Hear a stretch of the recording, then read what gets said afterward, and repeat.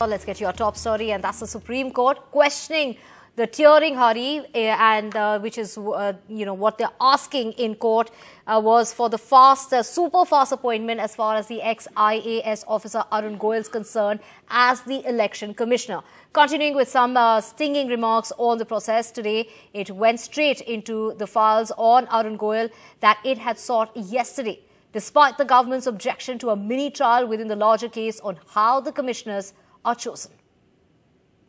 Really, sort of, is it done with such uh, No. haste, No. if I may use a word? No, no, no, not, Not not, with uh, any not, kind of. because I have, I've With examined, Daring urgency I, that, you know, that all of this is done, in, you know, you require some I- I- time to contemplate. Sorry to tell that you. I think impression, you have to maintain I think your silence in lordship the will not have. No, no. what I've looked into- I can only tell you something.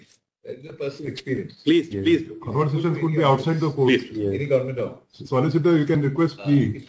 Usually, somebody at the Yeah, bottom you- the pyramid. Lord, will ensure that say, there is no, So it will ensure, up my to lord, that the there is top of the no pyramid. murmuring in internet. Discussions.